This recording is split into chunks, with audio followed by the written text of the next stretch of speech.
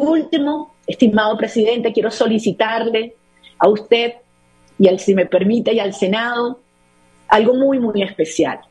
Porque muchos gobiernos del mundo, incluyendo el gobierno colombiano, le han demandado las actas al CNE y al régimen de Maduro, las cuales no las van a entregar.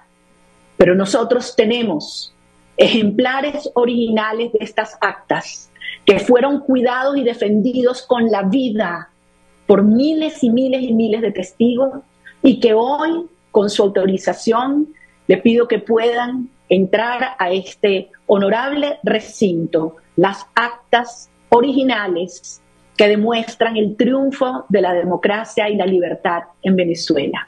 Las actas que demuestran que Venezuela gracias, ganó doctora la libertad. María Corina. Muchísimas gracias. Están exhibiendo las altas. Ah, no, pedimos silencio a las barras o las desalojo. Silencio a las barras.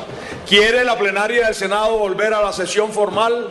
Sí lo quiere, señor presidente. Senador Ariel Ávila, muchas gracias a usted también por su venia para escuchar a la doctora María Corina, a quien agradecemos su intervención y aquí pues estaremos prestos a Congreso de Colombia para escuchar a los líderes del hermano país.